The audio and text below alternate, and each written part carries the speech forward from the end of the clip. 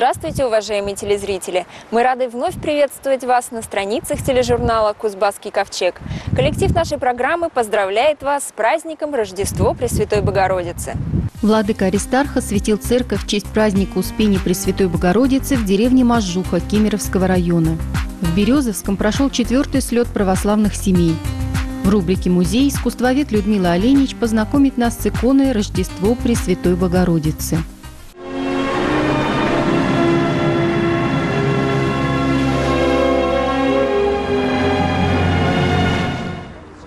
Каждым годом православных храмов в Кузбассе становится все больше. Это не может не радовать жителей отдаленных от центра населенных пунктов. Совсем недавно свой храм появился и у верующих в деревне Мазжуха Кемеровского района.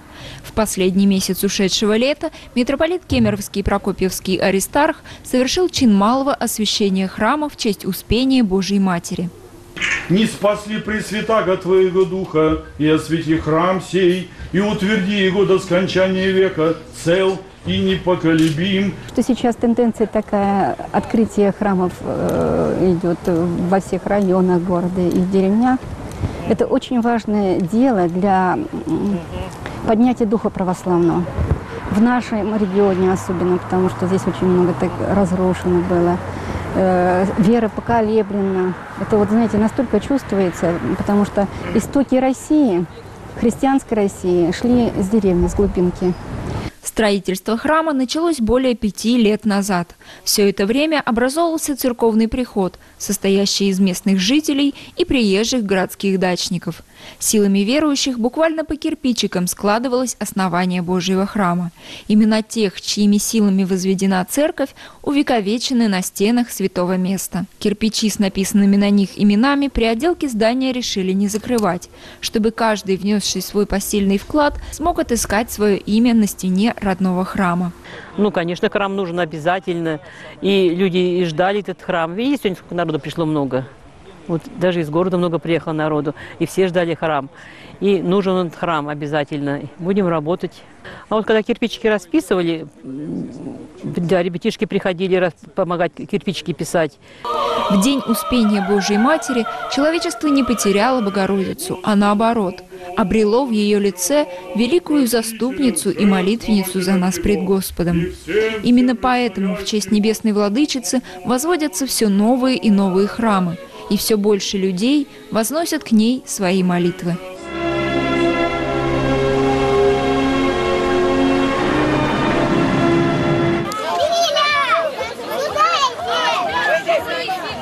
Настя, где ваша команда? Вы же сказали, первый подойдете, вас нет до сих пор. Слет православных семей, который проводится в городе Березовске каждое лето, начиная с 2011 года, в 2014 был еще масштабнее и интереснее всех предыдущих. На этот раз количество участников дошло до цифры 130. В этом году организаторам удалось даже устроить для ребят увлекательный сплав по реке, протекающий по территории летнего лагеря «Ласточка», на базе которого традиционно происходят события. Уникальность православного семейного слета в первую очередь в необычной форме организации детского отдыха. Ребята в возрасте от 3 до 18 несколько летних дней проводят на природе в неформальном общении друг с другом, не расставаясь при этом со своими близкими. Отряд в лагере строится из 9-10 детей разного возраста. В роли вожатых в них выступают ребята постарше, воспитателями, родители и бабушки.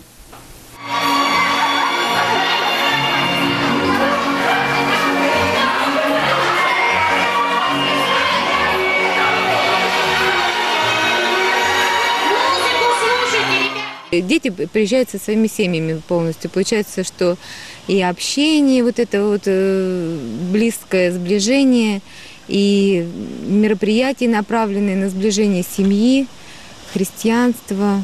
Ну, конечно, большая благодарность властям города Березовского за то, что они устраивают это мероприятие, потому что я больше нигде не видела и не слышала о таких мероприятиях, где бы могли семьями вот, э, общаться в православии, отдыхать и в то же время набираться как, каких-то полезных э, вещей для себя. Ну и польза неоценимая, конечно, для, именно для, для семьи. Каждый год в семейном лагере поднимается какая-либо актуальная тема. Так, в прошлом, 2013 говорили о душе, совести, сострадании. В этом году смена называется «Тропою предков», и все праздники и конкурсы посвящены родной истории. Мы, прежде всего, уходим в глубокую старину, князь Владимир, князь Дмитрий Донской, и учимся понимать э, вообще, на каких э, исторических э, духовных корнях стоит наш народ. Сегодня у нас будут деревенские посиделки, как это было в старину. Потом у нас будет бал, ситцевый бал. То есть все события, они каким-то образом связаны с историческим контекстом. И самое главное, дети увлекаются. То есть мы их увлекаем этим. Мы обращаемся не только к истории, мы обращаемся к культуре в целом. То есть у нас фольклорные, обрядовые моменты, э, сказки, легенды, летописи. Это все как бы оживает здесь в лагере, становится частью вот программы. Дело в том, что как бы вообще такой летний отдых для детей, который наполняет не только как бы вот здоровьем физическим, а еще здоровьем духовным и душевным, это очень полезно детям. Они приобретают очень много. Не лучше начинают учиться в школе, потому что они узнали уже такой культурный пласт, который они бы в жизни никогда не увидели, не узнали. Потому что умирает народная песня, да, а здесь мы это возрождаем. Плохо знают сказки, больше знают мультфильмы, да, уже когда переделанные сказки. Мы здесь это все повторяем, мы здесь это все закрепляем, они видят это полностью, да. Былинные богатыри, они тоже уже немножко из мультфильмов, они из былин. А здесь былина звучит с самого начала. То есть мы начали лагерь с того, что былину Родниковую послушали. Здравствуйте, гостюшки дорогие! Принимаем вас с хлебом и солью. Как у вас здоровьишко, не болейте. Детки, чтобы вас росли большими, а мужчины сильными с дедами. Чтобы вы, мамочки, у вас были здоровенькими, ласковыми, добрыми. Вот скажи, кто укусит, скажи, столько, значит, и счастья получит. Ну-ка, кто будет кусать у нас? Ну, ну-ка, батюшка, сколько сможет кусить у нас хлебушка? Я могу и презрена рабы Твоя, и на дела Твоя.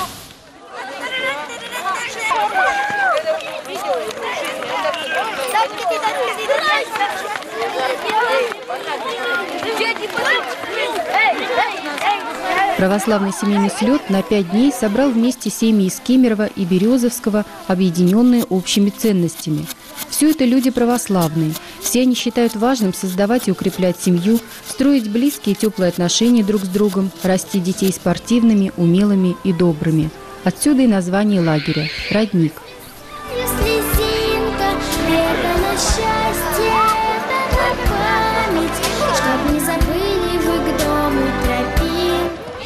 Родник – это символически. Родник – это исток. Исток. Поэтому мы, и песня у нас такая, а, наша центральная, наша главная песня про родник. Чтобы любить родину, это значит припасть к роднику. И родник нас выведет. Это чистая, хрустальная, ключевая вода, которая необходима всегда человеку, особенно тогда, когда он жаждет. А мы жаждем здесь, жаждем учиться любить, быть вместе, уступать. Поэтому родник называемся. Да, то есть мы стараемся, чтобы они как можно меньше занимались собой и собственными гаджетами, так скажем, а как можно больше занимались друг другом, общались, играли с малышами, со старшими, то есть чтобы они постоянно были вовлечены в жизнь, а не только вот в какие-то там компьютерные миры. Это все, конечно, мне, конечно, мне, об этом помолчи, помолчи. Просто прожитое, прожитое, зря, не зря, но не в этом понимаешь сон. Если капают дожди октября, видишь, стоит, он стоит среди сон.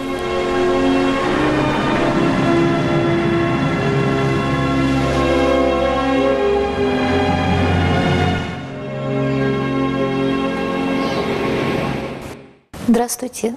Мы рады вас приветствовать в Музее истории православия на земле Кузнецкой. И сегодня мы будем говорить о праздничной иконе Рождества Богородицы. И, конечно же, мы всех поздравляем с великим праздником, которым и начинается индикт, церковный год. И э, все 12 праздников, они у нас в перспективе, в перспективе наших разговоров о них и разговоров о русской иконе – Сейчас мы рады вам представить замечательную икону конца русского средневековья, 17 века, работа неизвестного, но замечательного мастера, праздничная икона «Рождество Богородицы». Ее написал, ну, можно так сказать, наивный художник, потому что он не очень владел всеми материалами, всеми технологиями, которыми обычно пользовались мастера. Но это написал удивительно импульсивный, бесконечно верующий человек. Конечно, здесь нет никакого нарушения канонов. Она замечательно отвечает всем иконографическим образцам. И в то же время в нее вложено столько самобытности, что как раз и это, может быть, пленяет не только знатоков иконописания, но и людей, возможно, впервые обращенных к этому сюжету. Как всегда, на иконе э, с Рождеством Богородицы мы видим несколько, по сути дела, симультанно, то есть одновременно представленных композиционных элементов, не отделенно друг от друга. Конечно, в центре иконы э, сама святая Анна, родительница, уже престарелая родительница Богородицы, Девы Марии. Она сидит или полулежит Э, точнее сказать, на высоком ложе, и это ложе символизирует собою нетрудные, счастливые, неболезненные роды. Ну и вообще все в иконе символично. И это замечательно в ней, что символ, достаточно возвышенное указание на божественное, осмысливается художником как глубоко личный объект, как то, что его бесконечно интересует – в самом таком сокровенном, интимном человеческом плане. Вот это сочетание божественного и человеческого вообще в этом сюжете Рождества Богородицы удивительно в этой иконе, которую мы видим. Это очень радостный образ, и э, вы, конечно, можете видеть, что здесь преобладание красного цвета. Красный цвет – это символ жизни и в народном искусстве, и в христианском искусстве тоже. Причем это, э, этот красный цвет передан в данном случае очень яркой киноварью. Киноварь – очень дорогая краска – и можно удивляться, конечно, что у наивного художника, то есть художника, которого, который не прошел, может быть, все этапы мастерства в своем обучении, столь роскошно эта киноварь представлена. И э, дальше уже другие, не менее важные по своему символическому значению цвета. Конечно, золотой фон иконы, он пленяет, он красивый, он тесненный. А золотой фон – это не просто для красоты, хотя эстетическое начало в иконе очень значимо, но еще и потому, что он везде, и в убранстве, в внешнем убранстве храма, и в изображении на иконе, он является символом божества, бесконечности божественных энергий. Но и вторит ему, конечно, белый цвет. Он тоже по символическим значениям приближен к красному и, и золотому цвету, именно золотому цвету. И э, здесь, конечно, белый цвет – это не только соединение божественных сил, божественных энергий, но и еще э, символ чистоты, чистоты всего происходящего – Явление в мир Богородицы предвещалось многими пророками. О ней пророчествуется уже в книге «Бытия», в явлении неопалимой купины перед Моисеем, и в Лествице Иакова, и во многих других замечательных э, пророчествах, которые дошли до нас от разных времен. Но вот, наконец, настали времена, и Бог воплотился через Богородицу, поэтому ее еще называют Багреницей Христа, одеянием Христа, вместилищем Христа. Но сама она, кто она? Бог или человек? Этот вопрос тоже не случайен, потому что католическая церковь середины XIX века считает, что Богородица э, пришла в этот мир от непорочного зачатия. Так что же тогда получается она богиня? Православная церковь считает, что Богородица родилась естественным путем от своих престарелых и любимых родителей Анны Иакима, но Э, от того, что она поселена была своими родителями э, в Иерусалимском храме с трех лет и до отрочества своего пребывала там, и потом э, пришла в этот мир, дав обет безбрачия, и выбрав себе очень трудный, необычайный для еврейской девушки или даже женщины того времени, первого века от Рождества Христова путь, это, конечно, никак не соединяется ни с чем типичным, что можно было бы ну, э, так сказать, э, назвать естественным явлением. А, русские богословы считают, что э, ее особенная чистота и возможность стать матерью Иисуса Христа, она заключается в том мгновении, когда Дух Святой сошел на нее, и она стала действительно чище, лучше и совершенней всех людей, не зная никаких грехов и не неся их в себе, никаких. Но если обратиться опять к нашей иконе, то, э, конечно же, хочется сказать об интерпретации этого сюжета замечательным наивным художником, безымянным для нас – он изображает все канонически устойчивые элементы композиции, как я уже сказала, но делает это все-таки по-своему. То, что с покровом изображена только Святая Анна и Богородица, как раз указывает нам на то, что мастер таким образом показывает нам их особую отмеченность, особое значение. Считается, что поначалу изображались только вот эти сцены. Сама святая Анна, девушки, несущие дары, и повитухи. А уже позднее, позднее в иконе появляется еще самый, может быть, трогательный из всех моментов этого изображения – ласкание младенца. Когда э, под особой сенью, так всегда делают художники, не только наш мастер, изображаются сидящие и трогательно смотрящие на своего младенца Анна и Аким. Они как бы не верят своим глазам. И настолько все переполнено радостью, э, радостью явления в мир их ребенка, того, что по молитвам своим, 50 лет ожидая рождения ребенка и уже отчаявшись, они все-таки его имеют теперь. Радость от того, что их больше никто не будет упрекать за бесчадие, столь порицаемое в те времена, что они вот не дают продолжения Израилю. И, конечно же, чудо. Это чудо, что у таких престарелых родителей после явления ангелов и извещения об этом родилась эта маленькая девочка.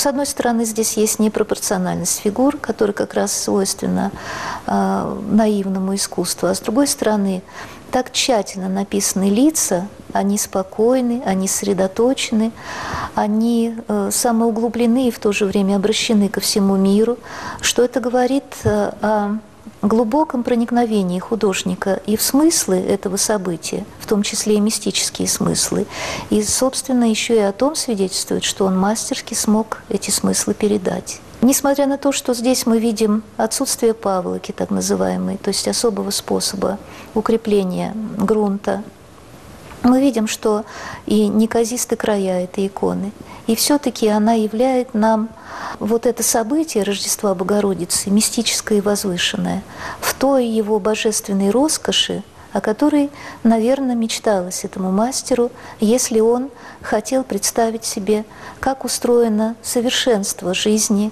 уже в раю, в вечности. Об иконе Рождества Богородицы, который представлен в нашем музее, можно говорить очень долго, восхищаться всеми моментами этого сюжета, э, обращаться к великим пророкам, э, конечно же, к тропарям и кандакам, которые в церковной службе посвящаются этому событию. Но на этом мы завершаем нашу, нашу сегодняшнюю встречу с этой удивительной праздничной иконой.